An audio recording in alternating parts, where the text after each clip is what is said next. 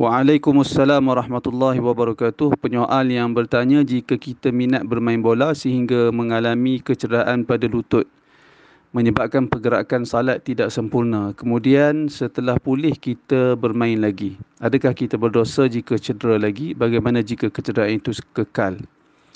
Tak berdosa, tak berdosa kalau kecederaan kecederaan itu berlaku secara uh, kemalangan. Uh, tak berdosa. Bahkan jika kita ada kita tidak mampu melaksanakan salat seperti biasa dalam keadaan kita tercedera, kita lakukan salat menurut kemampuan dan bermain bola itu diharuskan di dalam syarak, maka apa-apa kecederaan bahkan bersukan itu diharuskan di dalam syarak, apa-apa kecederaan disebabkan bersukan uh, tidak berdosa dan kita tunaikan salat menurut kemampuan kita. Wallahu a'lam.